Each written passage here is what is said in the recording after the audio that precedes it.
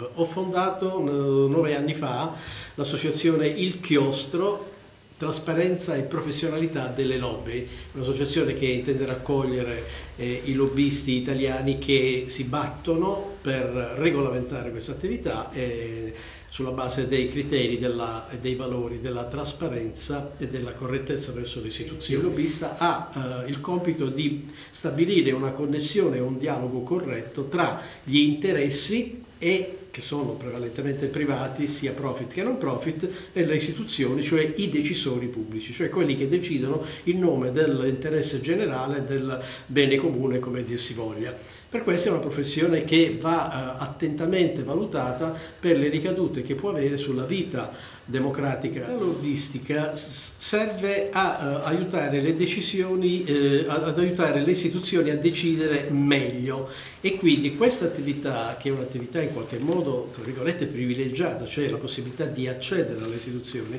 non può essere un'attività che si svolga al di fuori eh, di ciò che è il sale della democrazia, cioè la trasparenza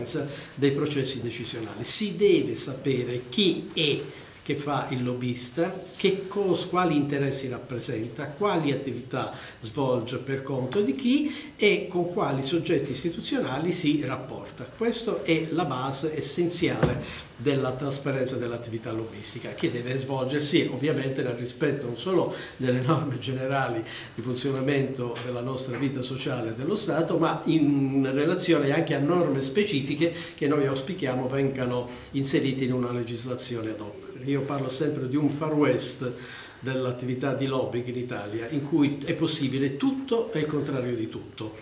qualche cosa che esiste se tanto molto sporadico, mm, c'è qualche regione che ha cominciato a elaborare delle norme, la Toscana lo fece già nel 2001, ma si tratta diciamo, di normativa assolutamente molto approssimativa, anche perché il dibattito sull'argomento non era sviluppato e non si aveva ancora una consapevolezza piena del problema, anche il Molise ha una legislazione, altre regioni ne stanno discutendo, ma quello che manca è eh, una legislazione a livello nazionale, che noi chiediamo con insistenza da quasi quasi appunto dieci anni e che stenta a venire fuori perché ci sono molti interessi contrari alla mh, trasparenza dell'attività di lobbying e quindi alla regolamentazione. Noi chiediamo che i lobbisti siano, debbano avere dei requisiti essenziali per potersi iscrivere a un registro obbligatorio, nel senso che chi non si iscrive in questo registro non può esercitare l'attività di lobbying. Se lo fa deve essere sanzionato in maniera molto pesante dal punto di vista pecuniario. L'iscrizione al registro comporta una rendicontazione dell'attività di lobbying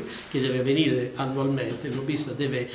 inviare all'autorità che deve vigilare, che secondo noi deve essere l'autorità nazionale anticorruzione, corruzione che deve vigilare sulla tenuta di questo registro, una relazione in cui scrive esattamente quello che lui ha fatto, cioè quali sono gli interessi rappresentati, e quanti soldi ha speso e prevalentemente quali sono diciamo così, i, i vari fascicoli dire, che ha seguito e le persone con cui si è interfacciato. Chiediamo anche che il parlamentare, o non solo il parlamentare, ma anche qualunque decisore pubblico, lasci traccia dei contatti che ha con i lobbisti e, e lasci evidenza dei documenti che ha ricevuto che dovrebbero essere di dominio pubblico.